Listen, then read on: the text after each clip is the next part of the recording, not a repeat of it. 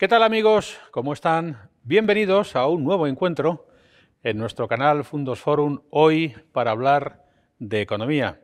Pero no de la economía del presente, vamos a hablar de la economía del pasado y vamos a descubrir que la economía del pasado es mucho más del presente de lo que nos pensamos. Se acaba de publicar un libro sorprendente que tengo yo conmigo, justamente este. El libro lleva por título El banquero real. Es un libro que versa sobre la vida y la trayectoria de Spínola, que fue un banquero genovés clave en el reinado de Felipe IV, que fue capaz de sostener las finanzas públicas de España durante mucho tiempo y que luego llegó a participar en política en primera línea de la gestión de las finanzas del Reino de, España. Y lo ha escrito un catedrático de eh, Historia Económica de la Universidad Carlos III de Madrid, doctor en Historia por nuestra Universidad de Valladolid y profesor visitante en las universidades de Oxford, Harvard y Bonn, un escritor prolífico con más de 50 libros sobre historia económica de la Edad Moderna y que ha participado en más de 20 proyectos de investigación y que ha tenido la gentileza de acercarse hoy hasta nosotros en nuestro canal. Carlos Álvarez Nogal. Hola Carlos, bienvenido y muchas gracias. Encantado, muchas gracias por, esta invitación. Y gracias por ayudarnos a los lectores de su libro, eh, a ayudarnos a descubrir la relevancia de un personaje de esta naturaleza como Bartolomé de, de Spínola en cuya trayectoria vital se resumen partes de las cosas que le ocurrieron a España en el siglo XVII, pero también las cosas que nos siguen pasando a nosotros en el siglo, en el siglo XXI. Antes que nada, para quienes nos estén viendo y escuchando, vamos a centrar al personaje. Vamos a explicar quién era Espínola y qué eh, papel tuvo en la España de, su tiempo. Bueno, Bartolomé Espínola es un era un banquero genovés que llegó a España siendo muy joven eh, para hacer negocios, hacerse rico y llegar a lo máximo que se podía aspirar, que era servir a la corona, que en ese momento era el centro de Europa y el centro de gran parte del mundo. Eh, él tenía un pequeño capital porque su familia tenía dinero, eh, pertenecía a la nobleza en Génova, pero cuando él llega a, España, parte de cero, no, no, no hereda nada aquí. Monta una compañía y a partir de ahí empieza a hacer negocios junto con su primo, un primo segundo, eh, que es el que tiene más contactos en la corte y que le facilita la entrada a conocer a la gente importante. Y entre los dos montan una compañía exitosa que, dura mm, en el negocio privado 17 años. Algo que es en cierto modo extraordinario porque estas compañías tenían siempre una vida pequeña, se fundaban para tres o cuatro años, con la idea de renovarlas iba bien. Le fue muy bien y eso hizo que a lo largo de 17 años se dedicara al negocio de la banca, del préstamo, de, en el fondo de servicios financieros en aquella época, en la corte, en este caso en Madrid. Y cuando a los 17 años decidió dar un vuelco en su vida, cerró su compañía y pocos meses después la monarquía eh, le invitó a, formar parte del organigrama de gobierno y convertirse en el factor general del rey. Y durante otros 17 años eh, sirvió a Felipe IV desde el puesto de responsabilidad más importante que era eh, gestionar los fondos de la corona y al mismo tiempo tratar con los banqueros. Él había sido un banquero, por eso la corona pensó en él. Necesitaba alguien que tuviera la información, la capacidad, la agilidad para mm, eh, pensar algo que los oficiales reales no podían hacer, que era entender cómo funcionaba el dinero. Y otra cosa que tampoco la corona tenía en aquel momento, que era la capacidad para pedir prestado. Él hizo esas dos cuestiones.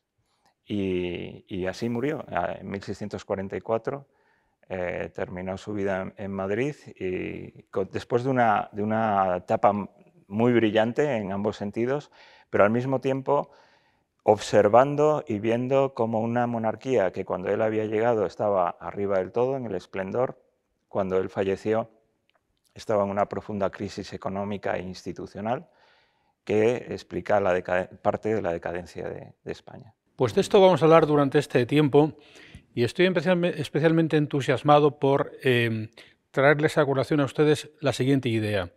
Lo que nos va a pasar en el futuro, en términos económicos, a las sociedades como las nuestras, al final todos dependemos de la economía, ya ha ocurrido. Y podemos saber más o menos lo que va a pasar si vemos lo que pasó. Lo que pasa que, bueno, no siempre los historiadores económicos como usted tienen la relevancia. en Castilla y León tenemos a Ramón Carande. Ramón Carande es un poco el padre de los historiadores económicos en España, que es palentino, hijo predilecto de Andalucía, pero sin embargo, Carlos, ¿por qué es tan infrecuente que los historiadores económicos tengan un cierto protagonismo en, un país tan aficionado, por ejemplo, a la historia como el nuestro, donde la novela histórica se devora? Bueno, quizá porque no somos capaces no hemos sabido vendernos lo suficientemente bien, cosa que eh, en la era de la comunicación y el marketing en la que nos encontramos, pues hay que aprender. y en cierto modo también porque todo lo que pertenece al, pasado, a la economía, mm, es de partida un, terreno árido. Eh, y, a lo mejor para muchas personas, si no están familiarizados con los términos, les puede resultar eh, difícil. Sin embargo, mm, eh, por ejemplo, en el caso de Ramón Carande, su famoso libro el Carlos V y sus banqueros, del que todos los historiadores económicos eh, los historiadores y los economistas hemos aprendido muchísimo, es, clave para, entender las finanzas del emperador Carlos V y, marcó como una tradición, un camino que después ha sido seguido por muchos otros investigadores. Eh, hasta el punto de que muchas veces nos quejamos de que alguien debería volver a estudiar a Carlos V, pero nadie se atreve después de que Ramón Carande lo hizo y lo hizo también en aquel momento. Desde luego, el dejó planteadas muchas cuestiones y esas, todas esas cuestiones siguen ahí abiertas, pero no solamente para el reinado de Carlos V, también para el de Felipe II, para el de Felipe III, para el de Felipe IV. Eh, toda esa, esa, etapa del siglo XVI y XVII yo creo que es algo que, que debe ser mejor conocida. Tenemos una visión muy pesimista eh, y es verdad que había luces y sombras, pero hay que conocer ambas cosas, las luces y las sombras. Entonces, en este sentido, eh, ojalá un libro como el de Bartolomé contribuya a, hacer esa, labor de, invitar a la gente a que, sea, a que tenga un mejor conocimiento de esa época. Y esta teoría que yo tengo mía de andar por casa, que quiero contrastar con usted, de que si hay algún aspecto en el que la frase las civilizaciones que no conocen su historia están condenadas a repetirla, si hay algún aspecto donde se manifiesta de modo más expreso en la economía, ¿Esto usted lo comparte? ¿Las civilizaciones no conocen lo que pasó en la economía y por lo tanto desconocen lo que les acabará pasando? Eh, conocer el pasado es esencial para, aprender y tener experiencia. La experiencia es eh, algo absolutamente necesario para, tomar decisiones, para entender el, mundo en el que, en el que estás. Eh, y por supuesto ese pasado es el pasado inmediato y el pasado más pretérito, porque hasta cierto punto hay cosas que permanecen eh, en, nosotros, palabras que usamos que fueron usadas hace 500 o 600 años y, instituciones que siguen, que siguen funcionando igual. Mm, es una pena, es una oportunidad perdida no conocer ese pasado, en el sentido de que eh, sería como si alguien, teniendo el Museo del Prado, no va nunca. Eh, se pierde algo muy importante. Y, yo creo que mm, tanto en el aspecto del ámbito cultural, como pueden ser las obras de la literatura, las, obras de arte, eh, la arquitectura, eh, tiene un complemento que también explica eso y, se explica mutuamente, que es la parte económica. Y esa parte económica es fundamental para entender por qué eh, las personas que vivieron en esa época y por qué nuestra economía hereda ciertas eh, circunstancias que hacen que esa trayectoria económica eh, vaya en una dirección u otra, pues esa, eh, esa parte solo se puede entender conociendo el pasado. no solo en general los clichés, que son muy abundantes en la historia, sino en profundidad los detalles, porque son los que permiten descubrir, digamos, qué es verdad, qué no es tan verdad en cuando se habla del, pasado. Pues vamos allá, vamos a conocer, luego más tarde conoceremos un poco cómo funcionaba el entramado de financiación pública en España en ese momento, para que veamos que es más sofisticado de lo que nos creemos, pero vamos a ver paralelismos. Por ejemplo, Carlos, situación de inflación. La inflación en este momento es la carcoma que sigue deteriorando nuestras economías en, en el año 2023. Em, pero en, la época de Felipe IV, durante eh, la faceta en la que estuvo con Espínola, también hubo un proceso inflacionario muy severo que afectó al vellón, ¿no? Sí, eh, había un proceso, mm, en, eh, se suele llamar la revolución de los precios, todo un proceso de inflación que se dio en el siglo anterior. cuando se descubre América llegan metales preciosos, sobre todo plata, y, llegan en miles de toneladas al final y eso implica aumentar la cantidad de dinero que hay en la economía y eso genera inflación. Pero lo llamamos revolución de los precios, en realidad la inflación durante todo ese siglo fue, se calcula entre el 1,5, aproximadamente 1,3, 1,5% anual, eh, comparado con la inflación que tenemos hoy, no lo llamaríamos revolución pero es verdad que para aquella época y sobre todo con un sistema metálico, la inflación era prácticamente cero durante muchísimo tiempo. Hay que recordar que el dinero valía lo que valía el metal, que lo no era fiduciario, por decir así, ¿no? Eso es. Eh, había, tienes un valor en la moneda que lo marca eh, la acuñación de la propia moneda, que está expresado en el valor monetario de la época, en este caso reales, en el caso castellano eh, en, el, en, la plata eh, y, y, tienes un valor intrínseco que es el contenido y la fineza del metal que tiene esa moneda. Eh, más plata en esa moneda pues tiene más valor, menos plata o, o, aleación con otra, otro material le da menos valor. Luego había una de cobre, ¿no? Y luego estaba la moneda de cobre.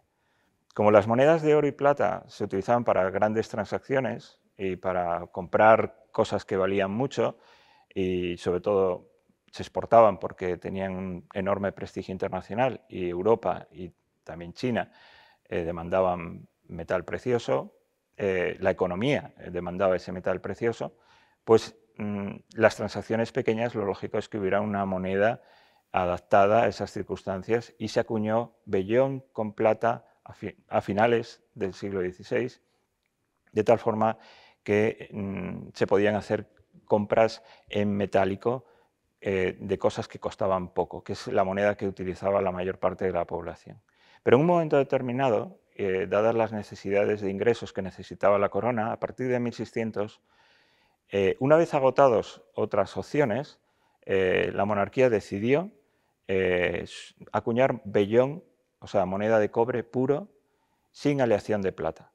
Y eso convirtió esa moneda en fiduciaria, porque le, asignó un valor que no estaba representado por el valor intrínseco de esa moneda.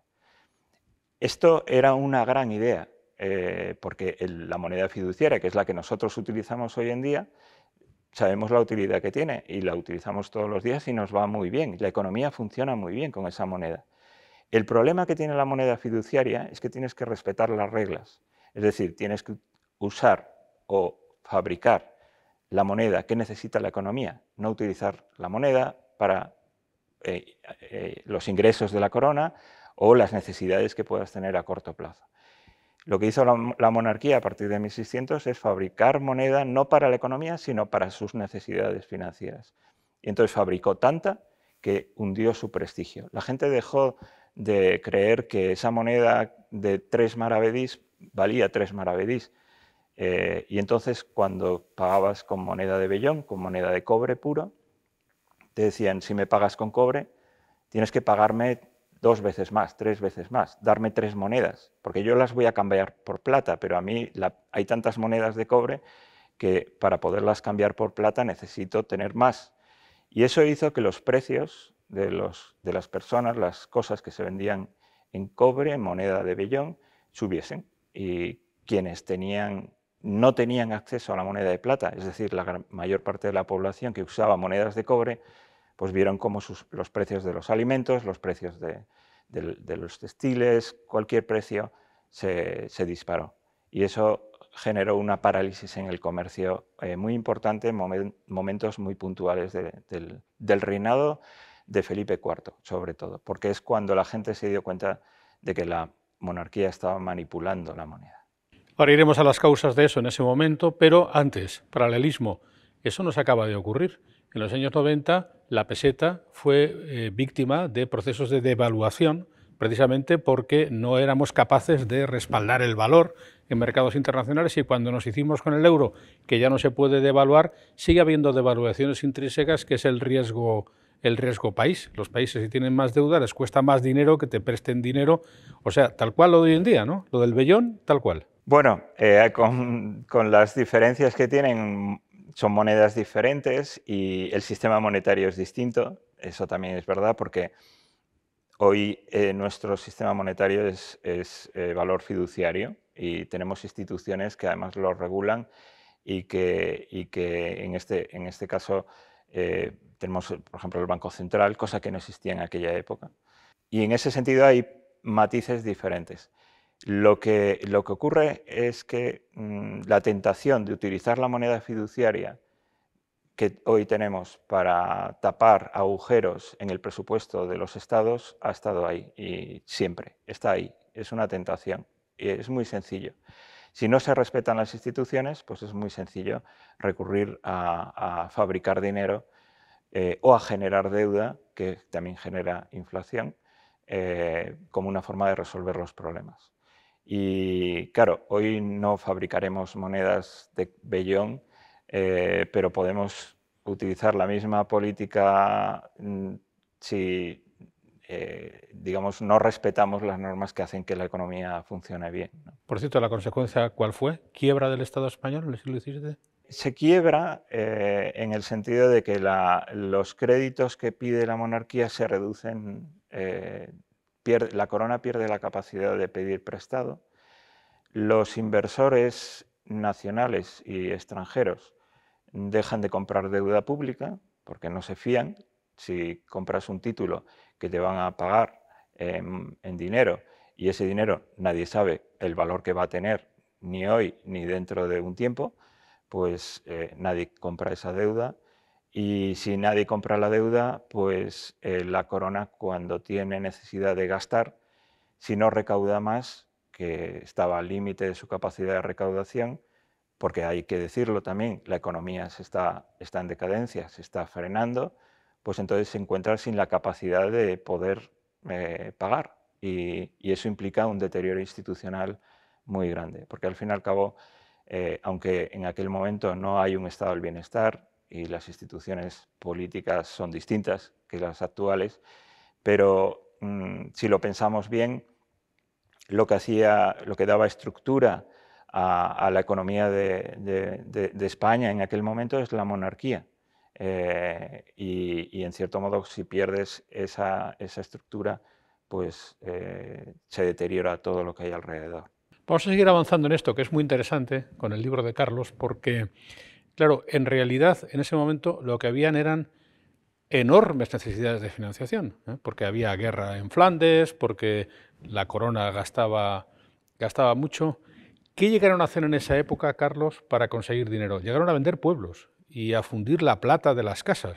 La forma de que un Estado consiga dinero es a través de la vía de los impuestos, esa es la forma mm, tradicional. Eh, mm, pero cuando los impuestos ya son demasiado altos, se han subido todos, y, hay otro problema, que es que mm, eh, la monarquía quiere cobrar impuestos, pero, la gente tiene que pagarlos. Eh, tiene que querer pagarlos y para eso tiene que entender que, para qué son los impuestos, a dónde se va el dinero. Y, esa, eso, eh, cuando los impuestos empiezan a subir y sobre todo empieza a gastarse ese dinero fuera de Castilla, los castellanos dicen no queremos seguir pagando, queremos que si pagamos el dinero se gaste en Castilla. Eh, lógicamente la corona, la monarquía hispánica, es una monarquía compuesta, así la han denominado los historiadores, porque se componía de distintos territorios en Europa y en América. Y esos territorios, cada uno con sus instituciones, eh, requerían pues, mm, unos gastos y una defensa en este caso también, porque había otros competidores.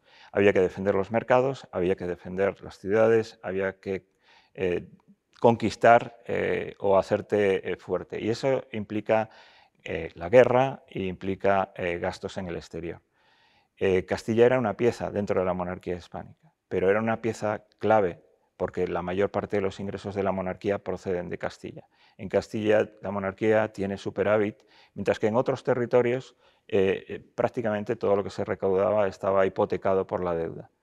Entonces, durante muchos años la monarquía tira de los impuestos en Castilla hasta que llega a un límite en el que, como en otros territorios, pues no es capaz de extraer más. La historia que sigue a continuación es cuando no puedes cobrar más impuestos, entonces empiezas a manipular o utilizar distintos mecanismos para recaudar, eh, ingresar más. Y esos mecanismos para ingresar más van por la emisión de más deuda pública, por la manipulación de esa deuda pública, por la utilización de la moneda para el, llamado impuesto inflación, para generar ingresos. Fabrico moneda, ya tengo dinero, pero eso genera una tremenda inflación, mm, da igual. Eh, y después la venta del patrimonio real, que es el, patrimonio de la monarquía, que son pueblos, que son jurisdicciones, que son eh, impuestos incluso. En lugar de cobrarlos la propia monarquía, la monarquía los vende para tener hoy el dinero que podría recaudar pues, en 20, 30 o, incluso a perpetuidad, porque es como se vende. O sea, el gobierno, el conde duque de Olivares lo que hacía era cogía Villanueva de la Serena y se la vendía a un particular y con el dinero obtenido se financiaba. Y ese particular era el dueño del pueblo.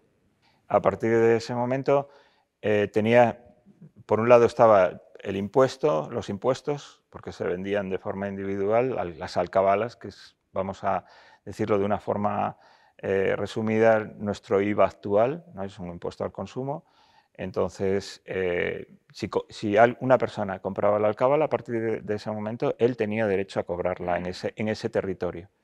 Eh, desde el punto de vista jurisdiccional, tenía eh, la capacidad para impartir justicia y, digamos, mm, tomar decisiones dentro de lo que es el marco jurídico de ese, territorio. ¿Esto es lo del alcalde de Zalamea? Sí, más o menos. Es curioso cómo al final la historia económica acaba influyendo en la historia política en la historia cultural y literaria. Em, pero claro, y hablemos ya de Spínola.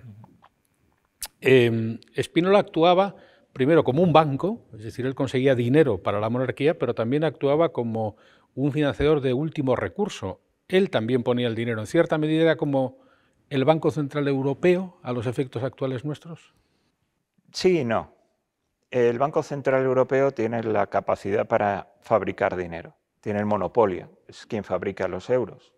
Eh, Bartolomé no tenía ese poder, porque como hemos dicho antes, eh, la moneda era oro y plata, y el oro y la plata no estaba en poder de nadie. Eh, había, eran los particulares, de hecho, quienes fabricaban el dinero cuando iban a las casas de moneda a fabricarlo. lo que hacía mm, Bartolomé, y se parecía al Banco Central, es que la corona lo sitúa en el centro de las finanzas, de tal forma que cuando uno de los banqueros del rey tiene problemas de liquidez, eh, Bartolomé tiene la capacidad para coger dinero de los impuestos o de los ingresos de la corona y ayudar a ese banquero. Eh, es el prestamista de último recurso, que normalmente lo utilizamos para referirnos al Banco Central, porque en cierto modo también cumple esa misión.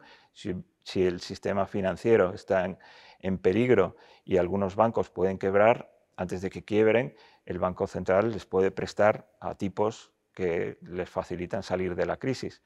Eh, en cierto modo, Bartolomé cumplía esa misión.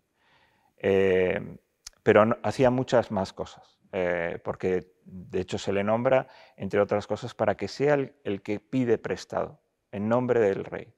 él da la cara. El dinero es del rey, procede de los impuestos o de otros ingresos, pero quien va a pedir, quien va a ir a los mercados a decir, voy a pedir prestado, porque al fin y al cabo estos banqueros, el dinero que usan no es el suyo propio, sino que es el de otras personas, como ocurre hoy en día, pues el, que va a pedir prestado es Bartolomé. Y eso le permite pedir prestado a un tipo más bajo, en el sentido de que si lo pide alguien que tiene poca reputación o poca credibilidad, por ejemplo la corona, tendrá que pagar más, la famosa prima de riesgo. Pero si la pide un banquero del que todo el mundo se, fía, pues es más sencillo conseguir crédito en cantidad y además a precio más bajo. Sin Bartolomé, durante esos años, al frente de la Factoría General, la monarquía no hubiera conseguido la capacidad de financiar, el, nivel de financiación del que disfrutó durante esos 17 años. Luego es curioso porque este hombre que financiaba eh, a la monarquía, que luego fue fichado por la propia monarquía, era europeo, era genovés. Y es algo muy español tenerles manía a aquellos que nos hacen bien. Y entonces ahora resulta que leyendo su libro, Carlos, uno descubre que a los genoveses en Madrid se les odiaba y se les tenía gato porque se interpretaba que eran unos usureros quienes en realidad estaban financiando el Estado. ¿no? Algo parecido nos pasa a nosotros ahora, esto del que inventen ellos. La, banca siempre ha tenido muy mala prensa y es razonable. Entonces. Pero en el caso, por ejemplo, de Espinola, no, porque si no hubiera sido por Espinola, es probable que en el granaje del conde Duque Olivares no hubiera sido tan fluido, ¿no? Indudablemente. Los genoveses se ganaron a pulso su mala fama y el odio que le tenía la gente. Hay que mm, pensar que ellos eran los destinatarios de los impuestos. Si la gente se quejaba porque los impuestos eran muy altos, eh, todo el mundo sabía que el, rey, la corona, se estaba, estaba utilizando ese dinero que estaban pagando de impuestos, se lo acababa dando a los banqueros. Lo que no pensaban o no querían pensar es que los banqueros a su vez se lo daban a quienes les prestaban a los banqueros el dinero, que muchas veces eran castellanos. Eh, con lo cual, eh, a la hora de repartir culpas hay que repartirlas bien repartidas. Pero era, razonable ese, odio. Por otro lado, los banqueros, para pagar eh, los préstamos que, la corona pedía en el extranjero, sobre todo en el, en norte de Italia o en los Países Bajos, donde estaba la guerra, eh, mm, había que exportar la plata, porque si pides prestado allí, lógicamente hay que devolver allí el dinero. Entonces, la plata o el oro tiene que salir, sobre todo la plata, que era lo que más abundaba. Y, claro, eh, nadie en Castilla ni, en España quería que esa plata saliese, porque era, eh, así se reconocía entonces, esa es la visión que tenía mucha gente entonces, era la riqueza.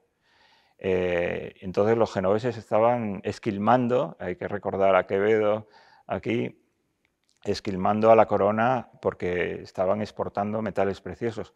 Pero es verdad que lo hacían porque la corona se lo pedía en cierto modo. Pero claro, em, si Spínola hubiera estado un día caminando por la calle, eh, de camino se habría podido encontrar pues, con Francisco de Quevedo, con eh, Velázquez, con Lope de Vega, con Góngara, que vivía en, en, Córdoba. Estamos hablando de una etapa brillantísima de la cultura española, tenida por el siglo de oro en su remate. Pero en términos económicos no era tan brillante, ¿no? El Estado no se podía financiar. Primero, él, vivía en la zona de Madrid que hoy llamamos el barrio de las letras. Eh, tuvo varias casas, vivió siempre de alquiler. Es curioso que los banqueros, en general casi todos los banqueros del rey viven de alquiler, no construyen grandes palacios como si hacen en Génova, por ejemplo. Si uno visita eh, la ciudad se, maravillará de, la Vía Balbi, que son unos palacios impresionantes. No, lo hacen en Madrid. Eh, señal de que sus negocios son efímeros y de que saben que ellos están temporalmente ahí. Digamos, estar en el centro de lo que es en Madrid, eh, donde está, eh, por ejemplo, una de las, de las aficiones de, de, Bartolomé era el teatro. Y vivía en la calle, al final casi de su vida, vivía en la calle Prado, que está a dos pasos de uno de los teatros de comedias más importantes de Madrid, Teatro del Príncipe. Y, vivía precisamente muy cerquita de uno de los mentideros donde se reunían quienes escribían, los escritores, los actores y quienes comerciaban con, obras de teatro, con lo cual era un buen lugar porque un banquero tenía que estar enterado de todo lo que se cocía en la corte, porque al fin y al cabo prestaba a personas que tenía que saber dónde estaban y qué hacían, y si podían pagar o no lo iban a hacer. Y saber todos esos chismes eh, mm, requería estar en los lugares eh, precisos. El teatro era uno de ellos, la calle era otra de, los lugares donde los banqueros eh, solían estar y Bartolomé en, concreto. Esa riqueza cultural, porque llamamos al siglo XVII el siglo de oro español, y, esa riqueza, ese siglo de oro son obras de arte, eh, tanto pictóricas como de escultura, como arquitectura, como literatura, eh, coincide con uno de los periodos de la historia de España en el que la economía, llamamos así, entra en decadencia. Eh, pero es una decadencia de, una monarquía que está arriba del todo, por eso es decadencia. nuestra visión negativa muchas veces es que pensamos que esa decadencia, la monarquía está en una situación totalmente eh, desastrosa. Eh, lo estará, pero es, el proceso de decadencia hace que cuando Bartolomé Espínola pasea por Madrid y va al Palacio Real a hacer negocios, eh, está en el centro de la monarquía hispánica, que es el centro de Europa, uno de los centros de Europa claves. El rey planeta, así era llamado Felipe IV. Y por eso conviven ante una realidad de decadencia económica con, toda esa riqueza, donde los pintores más importantes de Europa en ese momento pintan en Madrid y la literatura tiene una riqueza también enorme porque mm, hay demanda de no solo personas ricas como podía ser Bartolomé, sino muchas personas en Madrid demandan esas obras de artes. Y, esas, e, esos habilidosos escritores en aquel momento eh, pues mm, tenían la necesidad de encontrar mecenas que financiaran eh, dedicarse al arte y por lo tanto estaban en el lugar correcto, en el lugar donde había dinero. El Quijote está dedicado al duque de Osuna, si no me equivoco, eh, porque los escritores lo que hacían es que se financiaban a través de, de terceros. Lope de Vega escribió 300 y pico obras, en horas 24 pasaban de las musas al teatro, pero en esta época eh, voy a destacar dos cosas de Spínola que quizá nos siguen faltando en este momento en España, en este esfuerzo mío por hacer ese paralelismo, si es que cabe. Era muy riguroso, eh, según usted escribe en el libro, incorruptible, era un tipo que dos y dos son cuatro y pagaba lo que debía y por eso se ganó la confianza. Hablemos de esto, que a veces nos falta. Y luego otra segunda faceta muy relevante, y usted antes lo ha señalado, tenía mucha información era capaz de evaluar la situación de España, la duda de España, así ocurrió, mejor que, el propio Comeduco de Olivares y su equipo. La información es, es poder y ese era su poder. ¿no? Hablemos de estas dos facetas que a veces nos faltan. Por ejemplo, en la crisis financiera, cuando estalló la burbuja en España, eh, antes del 2010, algunos inspectores y algunos economistas del Banco de España insistían en que había una situación de preburbuja, que nadie hizo caso, renunciar a esa información produjo, en parte, lo que luego vino a continuación. Yo en el libro digo que mm, la reputación para un banquero, normalmente identificamos al banquero con el dinero rodeado de monedas, de oro y de plata. Y de hecho, si vamos al Prado, vemos los cuadros de los banqueros y esos famosos cambistas donde están contando monedas. Mm, Bartolomé y muchos de sus colegas en la banca genovesa de las altas finanzas de la monarquía, son personas que manejan información. Eh, la información es, realmente la clave. Por eso decía antes que tenían que estar eh, en los lugares donde se hablaba de otras personas, donde se transmitían información, donde se contaban eh, todo tipo de anécdotas o de chismes relacionados con las personas más importantes de la corte. Eh, esa información era importante porque el banquero necesitaba conocer bien a las personas y luego necesitaba eh, tener la información económica precisa. Y, hay muchísimos ejemplos de cómo, eh, y esa es una de las razones por las cuales la corona se fija en él y lo contrata, porque mm, la corona que necesitaba, como cualquier empresa hoy, como Mm, cualquier Estado hoy personas que resuelvan problemas. Los problemas ya sabemos que están allí. Y la monarquía en el siglo XVII tenía muchísimos. Pero lo que necesitaba no era gente que mm, llegaba a los consejos y se ponía a decir cuáles eran los innumerables inconvenientes que hacían imposible conseguir lo que el rey necesitaba en aquel momento y el destino fatídico al que se dirigía la monarquía si seguía por esos caminos. No, Lo que querían era que alguien dijera cuál era la solución. Y Bartolomé destacó porque siempre que pudo intervenir era capaz de decir, pensar en soluciones, en buscar la forma de resolver el problema.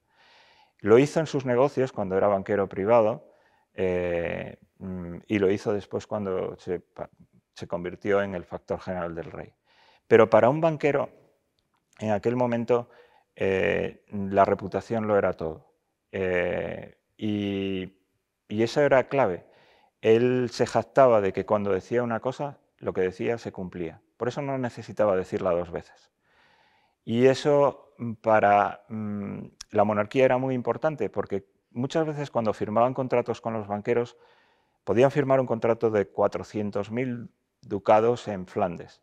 La cuestión es, ¿llegaría el dinero cuando se necesitaba pagar allí a los soldados?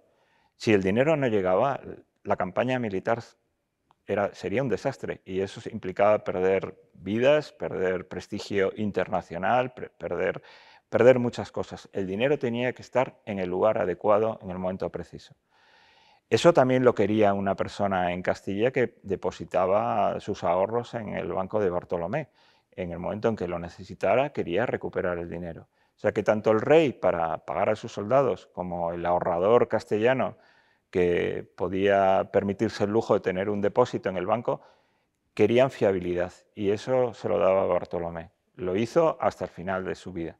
El, otro aspecto, el escrúpulo en la gestión, eh, digamos, está relacionado, eh, se ve muy bien, porque una de las claves fundamentales para sobrevivir como un banquero en la monarquía era no dejarse atrapar por las demandas de la corona. La, corona siempre pedía mucho más de lo que mm, los banqueros muchas veces podían hacer. Si tú te comprometías en exceso, al fin y al cabo, como decía antes, el eh, Bartolomé lo que hacía era dar la cara en los mercados. Si tú pedías demasiado dinero en los mercados y luego, por alguna razón, la corona eh, se retrasaba en el pago, cosa que en el siglo XVII ocurrió cada vez con más frecuencia, entonces quien, quien quedaba en evidencia y perdía reputación en los mercados era el banquero. Si quebraba el banquero, eh, la monarquía iba a continuar, porque el, rey no quebraba. Eh, los impuestos se seguirían cobrando, la deuda pública se seguiría emitiendo. La monarquía tenía suficiente como institución estabilidad y solidez como para permanecer, pero los banqueros podían desaparecer de la noche a la mañana. Bartolomé fue muy cauto en este sentido y aprendió mucho de su negocio privado porque fracasó en algunas de las operaciones que realizó y eso le permitió mm, tener experiencia y cuando entró a servir al rey fue capaz de decir que no en algunos momentos. De hecho, en el libro cuento un momento crítico que en el que toda la corte se le echa encima porque él se niega a, prestar esos meses y nadie entiende por qué. Eh, y, incluso se acaba recurriendo al embajador de Génova para que vaya a verle y que le pregunte qué le pasa. Eh, mm, y la razón, al final, es que un banquero no puede decir que tiene problemas. Eh, tiene que dar siempre la cara de que está perfectamente cubierto. Entonces, él no quería contar que sus correspondientes en Génova le habían dicho, mm, tenemos un descubierto muy grande, hasta que no se cierre, mejor no sigas contratando crédito. Y, eh, eso lo que hizo a, Bartolomé es simplemente desaparecer durante unos meses. De tal forma que de esa forma no tenía que decir que no quería prestar ni tenía que explicar por qué. Cuando recuperó el crédito, volvió a, a prestar. Tendríamos que aprender de esto. En España a veces nos falta, porque luego la figura antagónica, por hacer una caricatura, es el conde duque de Olivares, que le decía al rey todo lo que el rey quería escuchar en su calidad de válido, incluso para consolidar su posición, pues se le ocurrió hacer un gran palacio, que era el Palacio del Buen Retiro, que no había dinero para financiar, que financiaron con muchísima dificultad, porque claro, su majestad, eh, el rey eh, necesitaba algo mejor que el Alcázar de Madrid, que era un sitio pequeño y que luego se acabó quemando, y quería un gran palacio para él, pero no se lo podía permitir porque no le decía la verdad. Y sin embargo, Espínola le decía la verdad, cosa que les pasa también a veces a nuestros propios dirigentes, a los que o no les dicen la verdad o ellos mismos no dicen la verdad porque dicen lo que conviene, por seguir haciéndose paralelismo. Hay una cosa que me ha sorprendido de la lectura del libro de Carlos Álvarez Nogal, eh, y es cómo de sofisticadas eran las finanzas en ese momento y cómo el sistema financiero eh, actual es en alguna medida muy parecido al de aquel entonces. Era un sistema muy complejo ¿no? y muy desarrollado. Sí, eh, una monarquía con eh, los territorios que manejaba, la distancia, eh, las diferentes instituciones, porque cada territorio, la corona de Castilla, la corona de Aragón tiene sus propias instituciones, tiene su propio sistema monetario, Flandes, Milán, Nápoles, mm, hasta 1640 Portugal, son cada uno de forma independiente, tiene una enorme complejidad. Y, esa complejidad eh, política e institucional, cuando la, estudiamos, eh, mm, se refleja también en la economía. Eh, la economía ah, no es, mm, digamos, no utilizaban entonces los instrumentos que tenemos hoy. Claro, no existe WhatsApp, no tienen ordenadores, no pueden llamar por un teléfono móvil y dar órdenes de forma inmediata pero las necesidades de esa sociedad compleja desde el punto de vista económico son igual de complejos. Cuando se pide eh, prestado, pues hay que encontrar fórmulas que hagan que eh, los que prestan tengan esos incentivos y, los ahorradores que en lugar de tener el dinero escondido o guardado en su casa en una caja, pues que ese dinero esté en funcionamiento y que, beneficie a, a quienes lo usan, porque para eso está el dinero, para hacer transacciones. Y, eso puede beneficiar a las dos partes, también al dueño del dinero, pero para eso hay que generar confianza. Con lo cual, generar confianza eh, no es algo que se consiga de forma sencilla, también eh, implica eh, crear mecanismos, instituciones que hacen que esa información sea transparente. Y eso es lo que más confianza da a las personas. por ejemplo, una de las cosas que me llamó la atención investigando sobre Bartolomé es que cuando un banquero tenía que estar en la corte, no podía irse de vacaciones. Cuando mm, el rey le encargaba, le encargó en varias ocasiones ir a Sevilla, que era un centro económico fundamental para hacer negocios, era la puerta de entrada y de, salida de América, tenía entonces el monopolio de las flotas de la carrera de Indias, pues eh, mm, cuando los clientes de Bartolomé y sobre todo sus correspondientes en el extranjero se enteraban de que Bartolomé iba a abandonar la corte, eh, todos se ponían tremendamente nerviosos y escribían al rey diciendo que por favor que no se fuera, porque no querían que les, le pasara nada y querían saber dónde estaba y saber qué hacía, porque esa persona controlaba todo su dinero y controlaba la información que hacía que ese dinero, si hacía falta recuperarlo, se recuperase o se invirtiese. De hecho, me ha interesado mucho algún episodio del libro eh, cuando el banquero viajaba con el rey a sus viajes, cosa que era un gran honor para él, para Espínola. Lo que en realidad hacía el rey es que le utilizaba porque es el que iba consiguiendo, iba pagando el viaje sobre la marcha. Es efectivamente, en, el viaje en 1626 a las Cortes de, de la Corona de Aragón, eh, Bartolomé se incorpora a la comitiva y luego lo va a hacer en otras ocasiones y él es el que se encarga de, para no tener que llevar el dinero, oro, plata en cofres eh, y además teniendo en cuenta que una vez que cruzas la frontera entonces entre Castilla y Aragón, el sistema monetario es distinto, las monedas son diferentes, eh, lo que hacía Bartolomé era conseguir crédito para allí por donde pasaba y de esa forma el rey podía pagar su séquito y, saber que iba a estar bien financiado. Y, era un servicio, el primero de los servicios financieros que, digamos, eh, Felipe IV le puso a prueba a la hora de, antes de contratarlo como factor general del rey, cuando se dieron cuenta de la puntualidad y sobre todo la, la, mm, exquisitez con la que presentaba sus cuentas, eh, pensaron que si una persona era capaz de hacer algo tan bien en poca cosa, por así decirlo, eh, sería capaz de encargarse de algo mucho más grande que era gobernar las finanzas de la corona. Luego hay un aspecto que sigue vigente. eh, y que no nos damos cuenta de que tiene que ver con un hecho económico, que es eh, toda la cuestión vinculada con el arte relacionado con la iglesia. Hablamos de la imaginería, los Juan de Juni, o hablamos de los grandes templos de la tierra de Campos, etcétera, cuyo origen es 1600, 1650, tienen que ver con la cantidad de dinero que tenía la iglesia, porque la iglesia en ese momento era como otro banco central. Es decir, el papel de la, financiero de la Iglesia es muy relevante en esa época. ¿no? Sí, hay que pensar que en aquella época hay dos instituciones que cobran impuestos en España, que es eh, la corona y la Iglesia.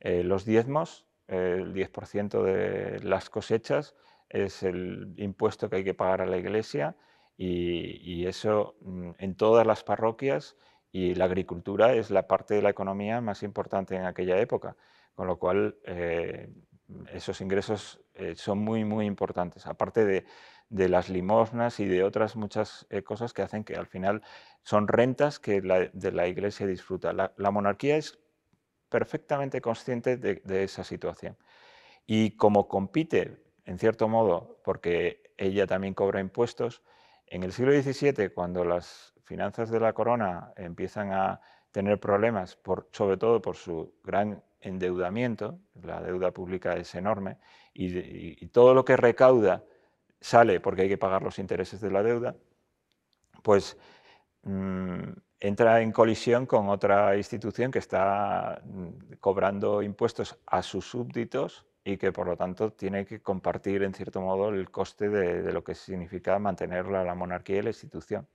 Y, ahí empiezan las tensiones pues, para cobrar impuestos como los millones que también paguen los eclesiásticos eh, y otros impuestos a la Iglesia, las llamadas tres gracias que se cobraban ya desde Felipe II, pero que serán muy, muy importantes también en, la, en la, etapa de Felipe IV. Habrán pasado 400 años, pero sigue existiendo la X en la declaración de la renta. Quiere decir que al final la historia explica mucho el, pasado. Y es una lástima que se nos esté yendo el tiempo porque eh, es apasionante el asunto y me gustaría seguir profundizando en él, pero no quisiera que termináramos sin hacer alusión a dos aspectos.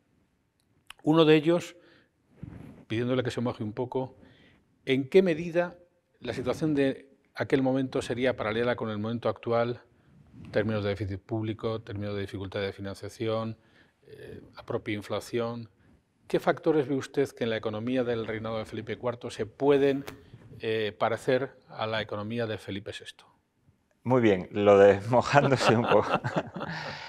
Porque mm, la historia eh, y la historia de esta época de esplendor de la monarquía, porque aunque estemos, como decía antes, en un siglo, en el siglo XVII, en una época de decadencia económica, desde luego en lo cultural no estaba, no estaba, España no estaba en decadencia.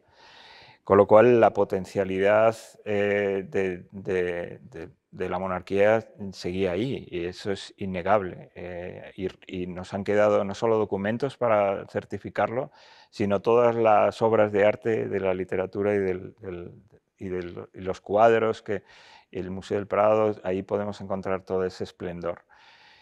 Por lo tanto, yo desde ese punto de vista no veo a la monarquía del siglo XVII desde un punto de vista negativo, a pesar de todos sus errores de los que cometió y, que explican su decadencia económica. Eso, eso también es así, porque la decadencia no vino por, mm, desde fuera, vino porque se tomaron malas decisiones y, eso importa. El paralelismo que yo puedo hacer con, con la época actual Estamos en una situación completamente diferente en el sentido de que nuestras instituciones son, gracias a la experiencia que hemos adquirido a lo largo de la historia, mucho más sólidas. Eh, por lo tanto, nuestra economía también circula en, una senda de, digamos, en el que podemos pensar que hacia el futuro eh, es optimista. Eh, habrá siempre crisis, eh, y por lo tanto mm, no, esas crisis no nos deben llevar como no le llevaron a Bartolomé a pensar de una forma pesimista, pero sí es verdad que cuando llega una crisis eh, hay unos que no la notan y muchos que la notan mucho. Y esa mala distribución de la riqueza pasaba en el siglo XVII y se acentuó, en cierto modo, y pasa hoy en día.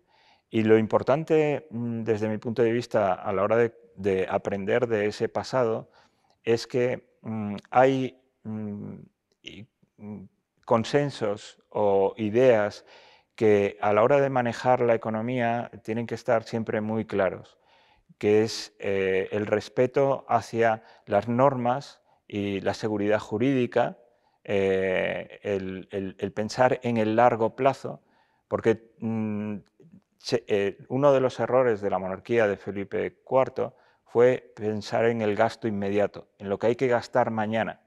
Y para eso se hacen o se toman las medidas confiscatorias que hagan falta. Manipular la moneda, em, emitir deuda pública que luego no se paga. Eso afecta a la reputación y esa mala reputación de esos títulos de deuda de entonces la seguimos pagando hoy con nuestra prima de riesgo siendo más alta que otros países europeos. Tenemos mala prensa y esa mala prensa hace que cuando se habla de las finanzas de la monarquía se piensa siempre en un país en bancarrota y de hecho cuando se habla de Felipe II o de Felipe IV, se le recuerda por las bancarrotas, no por todo lo demás. Y eso es una catástrofe. No nos puede ocurrir, y eso es lo que a mí me gustaría que no ocurriera, que en un país que tiene una enorme potencialidad desde muchos puntos de vista, tanto económico como cultural, cosa que ha demostrado a lo largo de la historia, que se le recuerde en el futuro por eh, aspectos negativos por haber tomado malas decisiones, por no haber sabido aprender del pasado. me parece una moraleja espléndida, eh, al nivel del libro que nos ha convocado aquí, El banquero real, el libro de Carlos Álvarez Nogal, catedrático de Historia Económica de la Carlos III y doctor por la Universidad de Valladolid. Ha sido un gusto recibirle aquí en nuestro canal Fundos Forum. Será un gusto para quienes tengan oportunidad de leer el libro y seguir en conversación con usted en otra oportunidad. Gracias, Carlos. Pues muchísimas gracias. Y gracias a ustedes también por haber seguido este encuentro en nuestro canal, que espero les haya interesado tanto como a nosotros. Tendremos más oportunidad de seguir hablando aquí en nuestro canal Fundos Forum.